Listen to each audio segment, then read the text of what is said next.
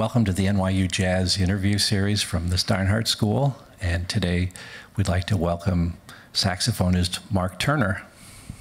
Thank you. um,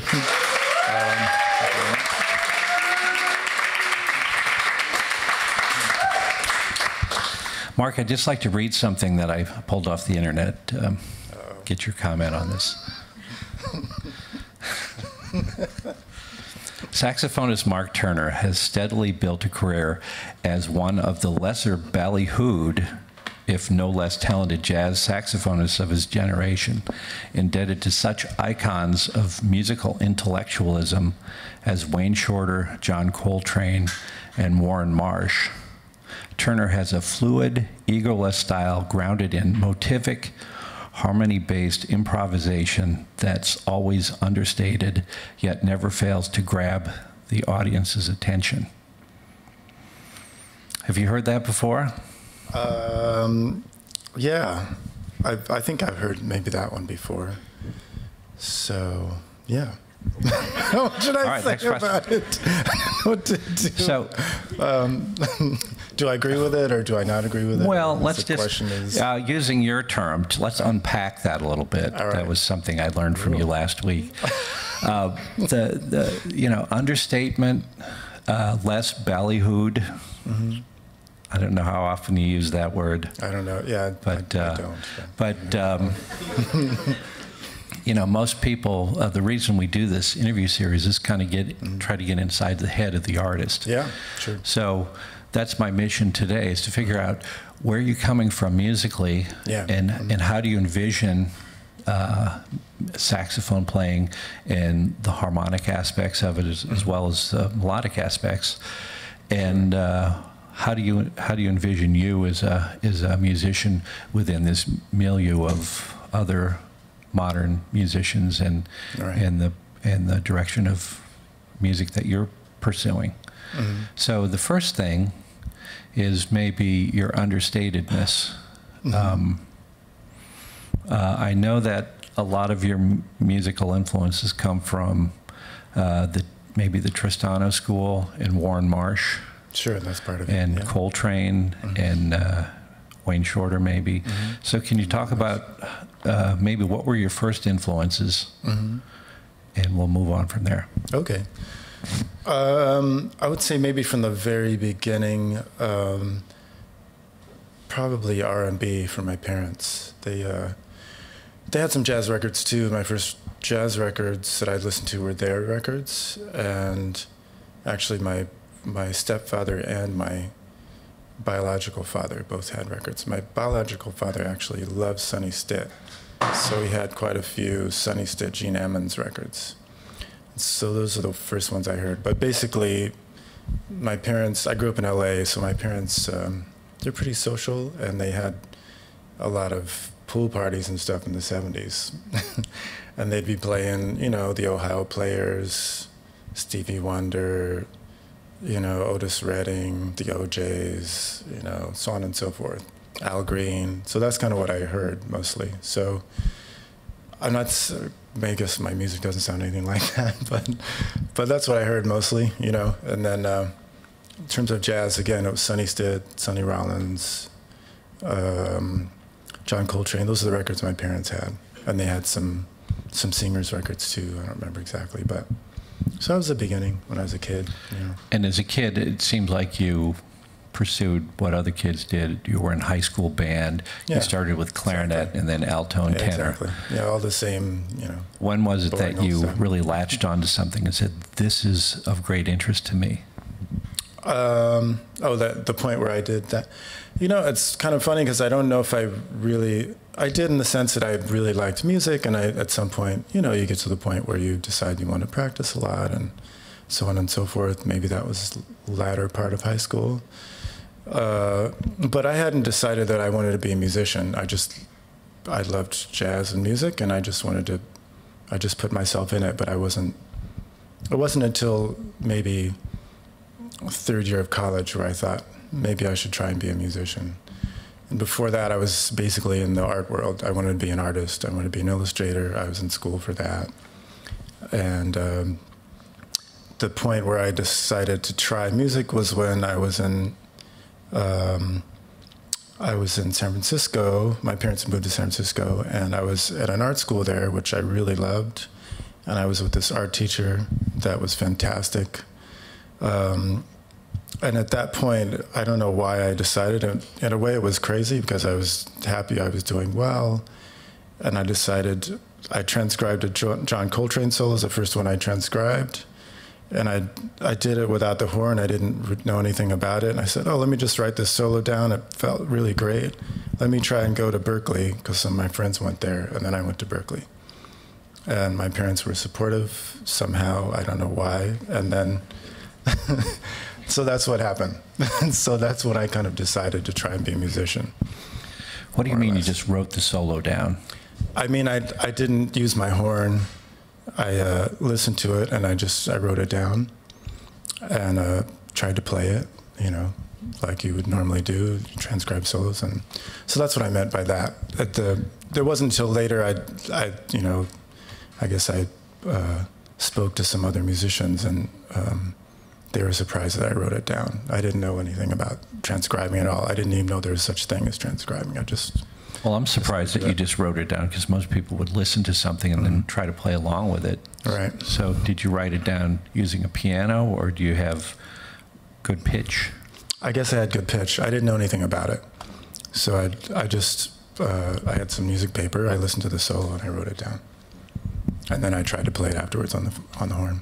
So This story was conveyed to me by mm-hmm. one of your uh, friends that went to Berklee with you. Oh, okay. And Uh-huh. he says that when he first met you, mm-hmm. you came in sounding like Michael Brecker, mm-hmm. very influenced by that. And. Right. you would be at jam sessions and you'd be there the longest.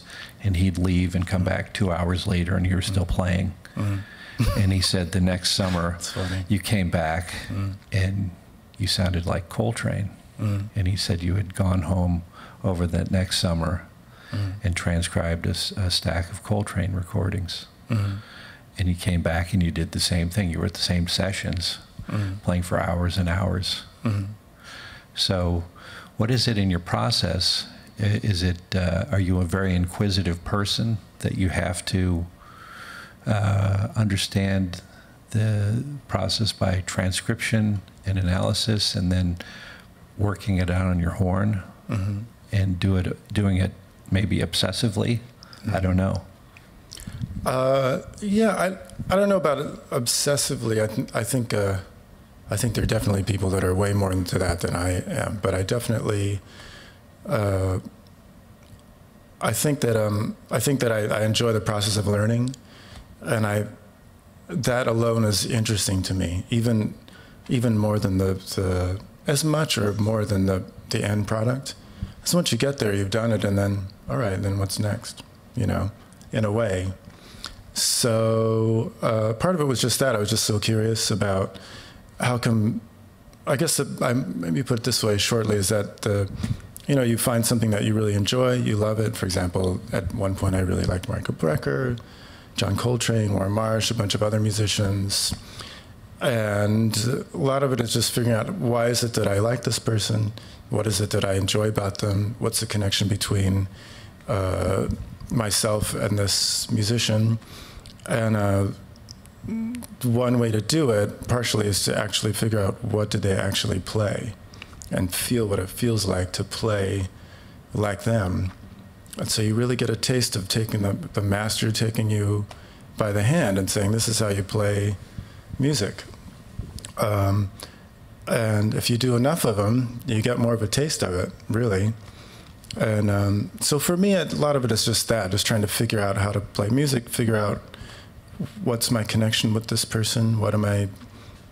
What do I want from them? What do they have to to give me? And uh, feeling it physically in your hands, writing it down, contemplating it, trying to assimilate it into yourself so that it feels natural.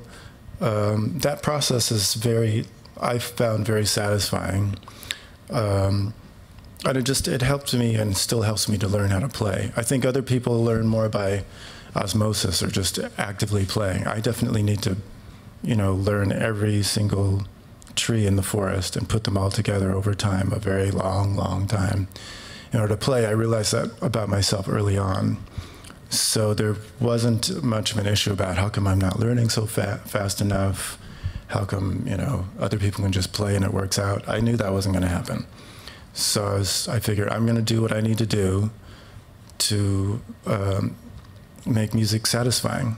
So maybe that's what, what it was. If you had to uh, pull these artists apart and, and assess them for what made them unique or interesting to you, because you've assimilated and, and really did an analysis, if you took like Warne Marsh, for instance, what was it? Yeah. What would you say is the essence of his music and his process that you've taken for your own? Um, I think one part is that um, initially I was attracted to him because at that time when I started trying to transcribe him and others like him, I was trying to figure out what I still I'm still trying to figure it out. But at that point, I was maybe a little bit more uh, in the fore. Is that I was trying to figure out how to improvise. You know, okay, you have some vocabulary and language. What are you going to do with it? So I was trying to figure out, you know, who, uh, what musicians felt like they were basically using what they had and and uh, kind of flying on the seat of their pants, trying to make things happen without actually falling over. You know, maybe like riding on the crest of the wave or whatever it is. You know. So, Warne Marsh was one of those, and I was attracted to him also because he did it without a whole lot of drama. You know, it's basically content, and I was interested in how is he how is he able to uh, use content, placement, sound, and content meaning melodies, the way he plays the harmony, where he places the notes, how he how he plays with the rhythm section, to create a sense of um, the, create the sense that he's he's uh, always on the edge. You know, where you to me, uh, listening to him, I feel my hair is standing on end because it sounds like he's always almost about to fall over, but it never quite happens. So I wanted to know what that was, and so that's the main thing, you know, about how he processes information, you know, and how he's able to. He almost it's very he almost never repeats himself. If you transcribe enough souls, you'll see everyone has something that they do, certain language that they have, uh, and some musicians you can find more repetition in their language. This is not a bad thing. I think that's a good thing, but with him, very very little. So I was looking for that. How is he able to take language, have it still sound familiar, and not repeat himself, and still keep it interesting, rational, um, forward moving, and so on and so forth. A few weeks ago, I had uh, bassist Richard Bona here, mm. and he had made the statement that uh, nobody truly improvises, mm. that they've worked out their process and they mm. continue to work out and perfect that process.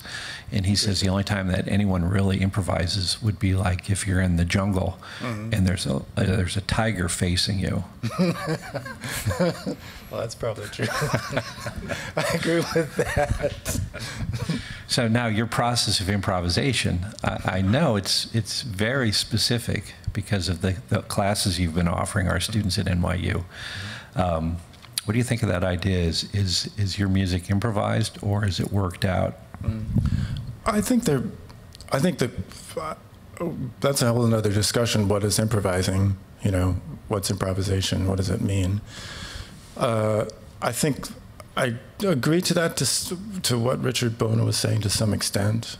Uh, I would say my music is a combination of both. That's probably true for everyone. You know, you have to work out something you know, if you play major scale, it's worked out. You know I mean? It's major scale, that's it. Um, you know, we're all doing things that, you know, you play certain uh, chord progressions, you're playing certain, it's been worked out before you. So, you know, you play Western music, I mean, just you're already stepping into something that's worked out. If you were to improvise, you'd have to start from the ground up completely. You have to make your own instrument, you know, work with another tonal system, so on and so forth. So nobody really does that that I know of. Um, I think the improvisation that we're talking about, that I involve myself in and try to engage in as much as possible, is working with um, the information that, uh, working with the music in my own culture um, that that I'm, I'm steeped in, that I'm representative of, and trying to um, use that and um, and speak. Like now, we're speaking on a subject. I'm improvising. I'm talking. I'm using language and in my own culture, in my own language, and in a context. So I think that's what improvisation is. If I weren't improvising, then I'd have a speech written out, and I'd know what questions you're going to ask me, and then I'd read that speech. That's not improvising. So I'm talking about this kind of improv- imp- improvising. That's also, I think that's improv- improvising, and I also think that that's uh, relevant. You know. Now let's speak in Russian. okay, I can't do that. You got it. Okay. So, so but we're speaking within a framework of. Exactly. Yeah. yeah. Now, so. the other night when you gave your lecture, uh, I had asked you about playing modally because your whole lecture was talking about cadences and resolution. And when we came up to modal, you, you had mentioned the word, well, we have to unpack this now. But uh, you made this analogy was uh, playing in, in, a modal key, maybe one key D minor. Uh, it's like envisioning a desert and you're slowly building cities mm. within, within this desert. Could yeah. you talk about what that means? Yeah, I think what that means is that you're you're uh, one you're building a storyline, but harmonically speaking, you're building um, reference points, um, you know, corners, so to speak, in which to you're building a room, a house, or cities or places in which to go, in which you can tell your story. Otherwise, it's kind of a complete, uh, when I say a desert, I mean a completely open, absolute, um, uh, yeah, clean slate, which is, that's not what we're dealing with. We're always dealing in the relative world, you know. Their thoughts, uh, people, places that we're making reference to, and that's how we relate to each other. A clean slate, an absolute vacuum, is nothing that we actually deal with. So, uh, one one chord just sitting there in the absolute desert is kind of we need to build something so that we can say something over this desert. So that's kind of what I mean by that, you know. And you can do it, you know, musically speaking, you would do it in a number of bars, certain chords, you know, kind of create reference points for yourself, the band, and the audience to feel tension release because that's both that's mainly what we're dealing with most of the time in music, you know, in order to tell a story. Based on the influences that you've you've uh, uncovered with Marsh and Shorter and Coltrane, how much of that is informed, or how much of that is is within your process? But how much new material have you uncovered for yourself? Uh, I don't know. That's a hard question. What do you mean by new material? Well, it's you, th- you know what it's it's just like for instance, Coltrane uh, was very studious. Mm-hmm. Uh, Slonimsky's thesaurus of melodic scales, for yeah. instance, and mm-hmm. uh, Messiaen scales, and yeah. you talked about the other day, mm-hmm. and studying with people like uh, Dennis Sandole in the Granoff School. Mm-hmm. He was always looking for different ways yeah. to find theoretical approaches, if it's mm-hmm. uh, uh, major thirds, etc. Mm-hmm. Uh, f- extracting all those elements from the various people that you've studied, mm-hmm. have you have you uncovered anything for yourself that's offered you a new direction? Uh, yeah, definitely. I mean, new in the sense of I feel that it's uh, maybe it's um, uh, individual to some extent. I can say that. I think new is something that other people decide. I can't make that decision, but I definitely feel that you know over time I found my own process. There's vocabulary, harmony, so on and so forth that uh, I feel is uh, personal, individual, intimate to some extent. So if that means new, then it is. I don't know what that the rest means, but. Well, I think part of this is your interest in classical music as well, because if we look at the the, the, the jazz process, um, uh, modal music in the '60s was similar to modal music from the turn of the century, mm-hmm. or free jazz might mm-hmm. be attributed to maybe some form of serial music. Mm-hmm. So, in that sense, you're still uh, uncovering things in, in by listening to classical music and mm-hmm. analyzing sure. that. So, is there anything that you've uncovered that way? Um, that's a difficult one. Uh, yeah, to some extent, I'm still, I'm still, I mean, I'm still working on all of it. I don't know. it's pretty, it's pretty. It's a lot of music to understand, but yeah, the the classical slash European tradition has definitely helped me quite a bit. Um, one in terms of harmony, voice leading, uh, and ways to access to ways to access it and understand it um, that I maybe would not have encountered if I only listened to music from the American slash jazz world. Uh, some of it may be vocabulary for sure, you know, just looking at scores, etudes, um, and making, um, learning how to make patterns or lines out of them. Um, yeah, those things I've uncovered. Most of it's been it's basically uh, melodic and harmonic language and vocabulary for the most part. Well, something that I've been thinking about since I, I attended your class the other day was um, if we look at chord structures as vertical mm-hmm. and we take the chord structures and move them horizontally yeah. and then fill in the gaps between the root third fifth etc yeah. we come up with scales mm-hmm. so we have to decide which scales based mm-hmm. on those triad or dominant 7 or mm-hmm. whatever harmony yeah. Um, so the process of improvisation has been taught and almost probably formalized mm-hmm. by the use of chord scales. Mm-hmm. Sure. Whereas the, what you're talking about in your class is you're actually going back to a vertical process in in your improvisations, it, looking at chord progressions. You're really outlining the root, the third, seventh, and then picking a ninth or something to outline the chords, Mm-hmm. rather than consider, oh, I can just use a blanket scale Sure. and realize this. And I think this is something that's really unique to you. Can you discuss that? Uh, yeah. Um, I started um, trying to access it partially in the beginning. It started by just listening to, to Coltrane, actually. And then uh, um, I started playing with uh, uh, Kurt Rosenwinkel's band. Um, and I, he, trying to play his tunes, um, I realized his tunes are very specific and the vocabulary is very specific. And I started writing down um, uh, voicings on all the chords, you know, and voice leading them just to figure out how to get chord sound and how to make the chord sound. So, for example, I might have been playing the right notes, but they weren't the right notes. Right notes in the sense that, you know, okay, you know, you're playing the fifth on a minor chord, uh, but for some reason it doesn't sound right. Why not? So I've I started trying to figure out what that was about.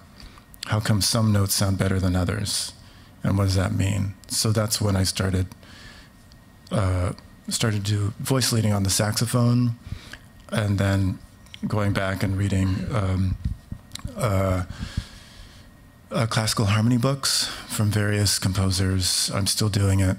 Um, trying to figure out most of most of that is what I found was taught basically in voice leadings.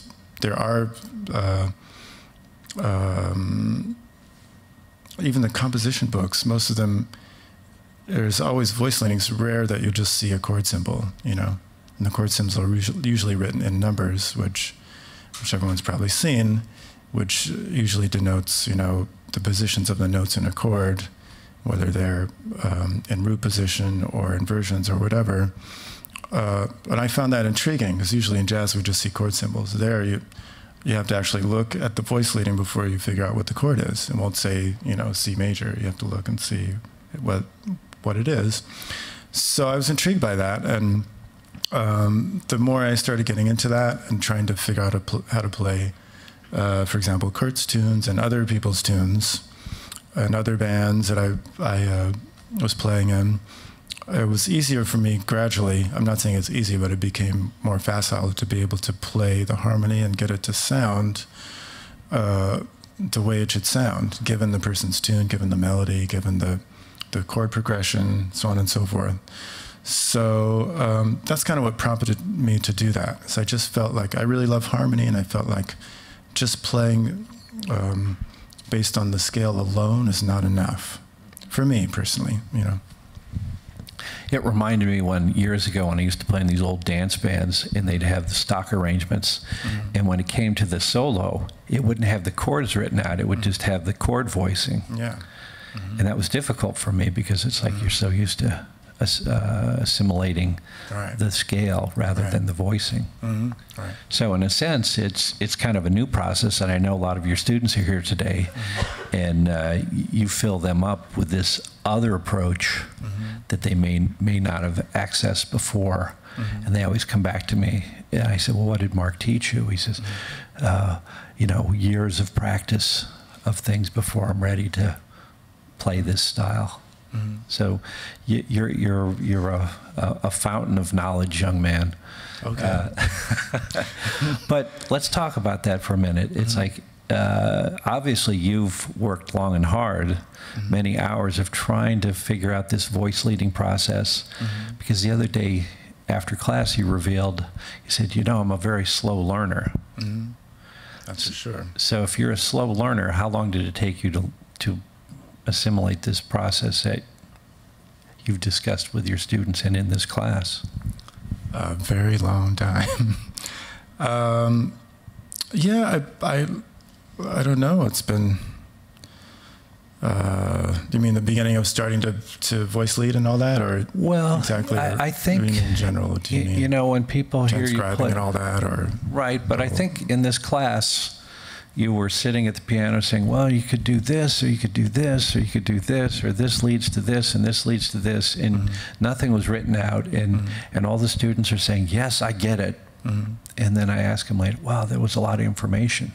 Mm-hmm. So it says to me that you've spent a lot of time just totally assimilating this, so that it it uh, it's part of your your speaking voice. uh, I see what you mean. Mhm.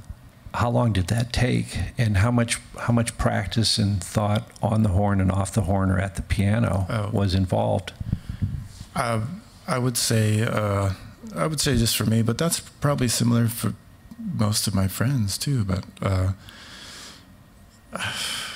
at least, um, when did I start trying to do that? Yeah, in the, I, maybe in the late '80s, '90s. I guess yeah, right around then. I just started trying to figure out voice leading and things, and so how long is that? 25 years or something. Did you find that, you were the only less- person doing this at the time? Oh, I think no. Well, I don't know. I'm about saxophone players. I don't know, but definitely. Um, no, I guess I no. I mean, other you know guitar players, piano players, I knew for sure, and bass players and stuff. I wasn't. No, I mean they were doing it too. Maybe it's more. Uh, natural for their instruments. They're playing string instruments, so that's what they do all the time.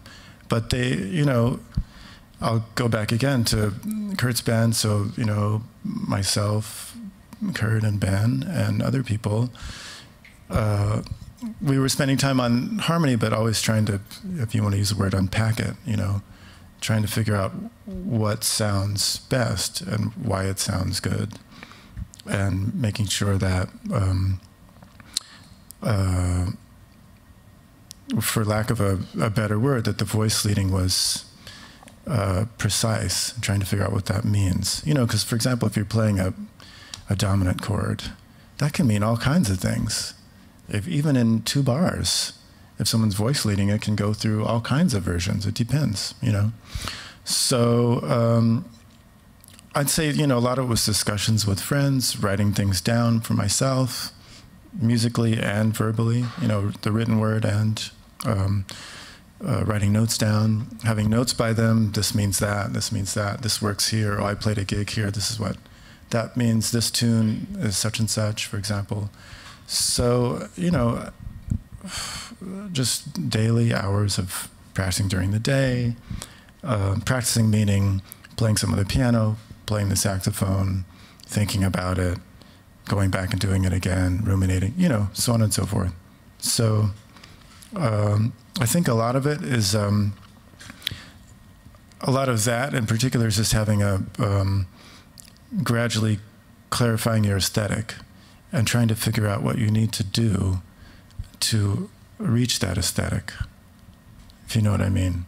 You know, otherwise, you know, there you can be practicing for uh, millennia. I mean, you can practice one or two things for hours and hours and hours, 24 hours a day until you die. You know, you have to decide on something, right? To focus what you're going to do, when you're going to do it, how you're going to do it. So I don't know if that answers your question, but Yes. uh, I had Chris Potter on stage here a while back, and I had brought up the, a conversation. He called me once and said, uh, Hey, can I get into the school to practice? yeah, And it was over the summer. I wasn't around. I said, What are you talking about? You're Chris Potter. You don't need to practice. and he says, He goes, I, I, I not only want to practice, but I need to practice. Yeah. I need to, and it was this, uh, uh, you know, as aggressive as he gets, there's this need to play the horn. yeah, Do you have that same need? absolutely. I do. yeah. So what happens if you don't practice? Um, if I don't practice, I feel terrible. I feel like a bad boy.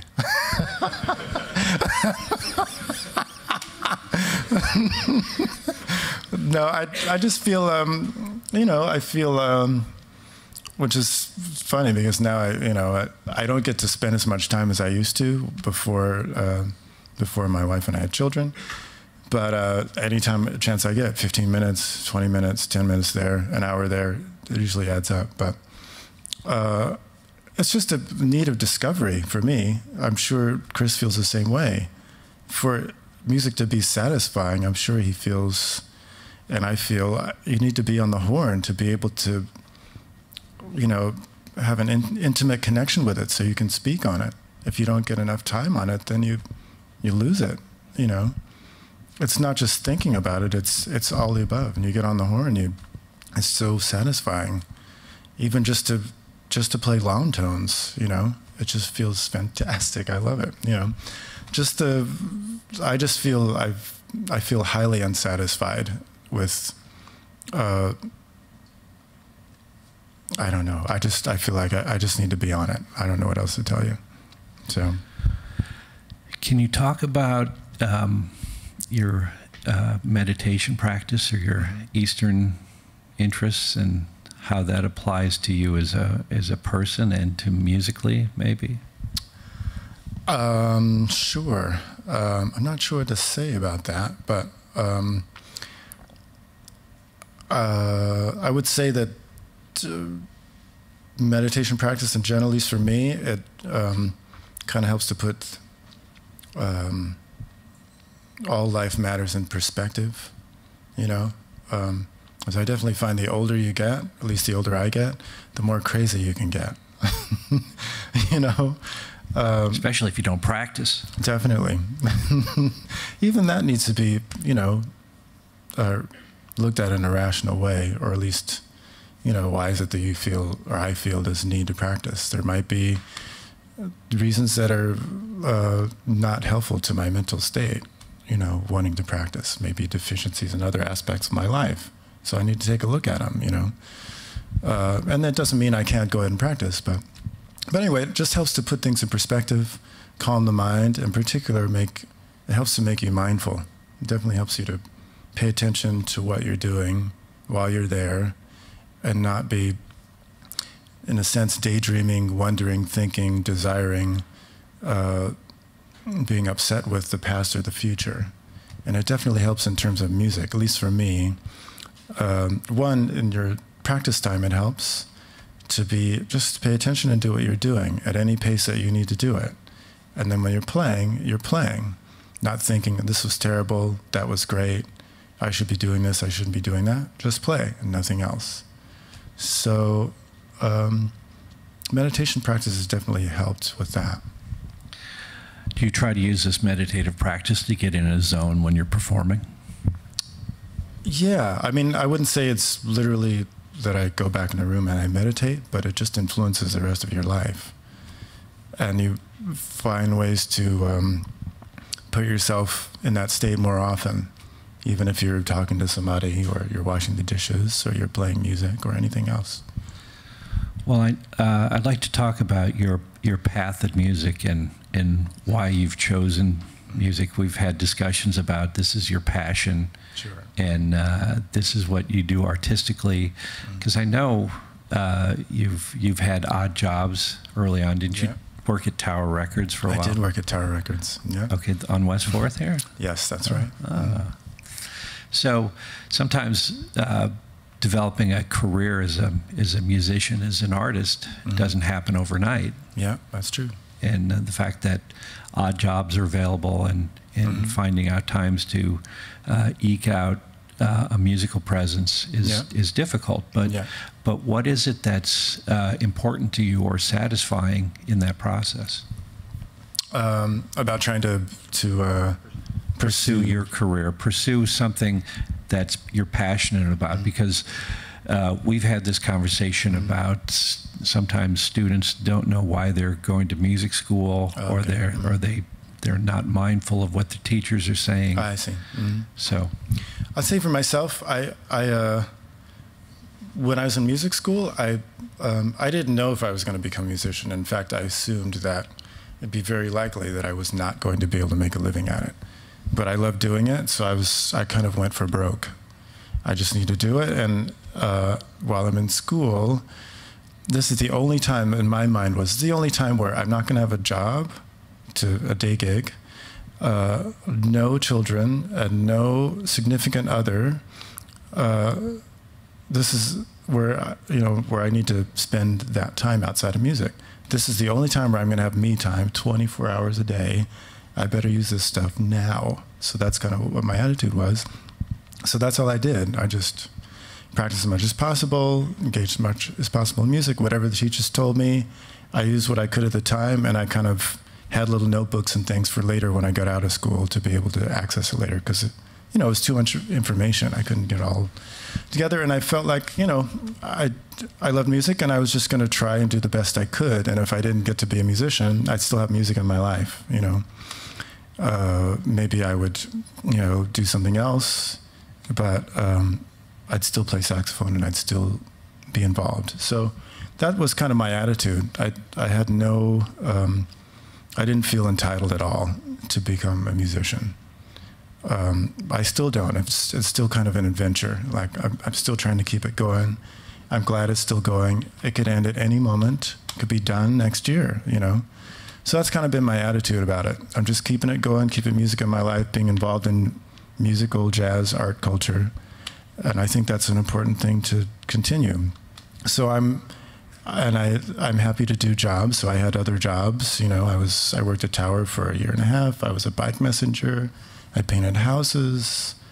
I played on the street and made a pretty good amount of money for that while I was working at Tower um, to pay for uh, paid for dinner and stuff a lot of times because I didn't quite make enough money at Tower. Blah blah blah. So um, I was willing to keep doing that as long as I needed to. do. Like if I need to do an extra job now and I don't have enough gigs, I'll do it. You know. So I don't know if that answers the question. But Yes, but but there was you were excited about the opportunity that uh, this is a school was a place to grow Oh man. and to immerse Yeah. yourself. Absolutely. I felt like I felt like that and I felt like I didn't want to waste my my parents and ancestors' resources. You know, my parents worked their asses off, excuse me. so I can go to school. My grandparents did too. So, you know, I shouldn't waste my time here, you know. So, yeah. Now that opening statement I made about uh, there's less ballyhoo about you, Mm-hmm. and and maybe part of that is because you don't seem like a very aggressive person. You're very passive, except maybe in your playing. Um, how was was there a point where you had to be aggressive to get into professional situations, or did people find you? Um, I would say I definitely have never been aggressive in that sense. I, I wouldn't know how to do it. I think there are other people that can do it well, and it's part of their personality. And I think all the power to anyone who needs to do what they need to do to get where they're going. Um, I would say that uh, I, what I did and I do is I just put myself in situations where I'm available and visible. It's probably better to say it like that. In other words, when I was younger, um, and still maybe less now, but um, I just put myself in situations where I could be seen, where I, you know, I might go to sessions. I may not like the session, but I'd go, or I'd play some gigs with in situations where I may not necessarily like the gig, but I'd get experience, meet other musicians, and other musicians might be in that situation to say, "Oh, that's great," you know, "Oh, you sound good," blah blah blah. Why don't we play this other gig over here? And then that, that other gig would happen, then someone else sees you, and then you play that other gig. Oh, it gets a little better, so on and so forth. So that's kind of how things have worked out for me, more or less. It's like that word of mouth, being as many situations, at least early on, that would lead to something else. You know, So you just didn't sit in your basement No. and practice. Yes. I did not. I either practiced or I was out playing somewhere else, a session or a gig or whatever. Yeah. So in our last few minutes, I uh, I always ask our guests if they have any uh, words of wisdom or advice for those people that follow you and uh, you've you've helped shape their careers, and maybe other people that aren't familiar with you and maybe they will be now. Uh, words of advice and wisdom. I don't know. Um, I would say one thing maybe is, um, hmm. Um, maybe you know to stay involved, active, and mindful of what you're doing without expectation expectation of results. I think that help it's helpful. I guess the short of it is you know uh, be present in the process, but I don't think that really exemplifies what I'm saying. You know, just be involved, work, do, be mindful of it, what it what's what its effect is on yourself and others, without expecting it to be.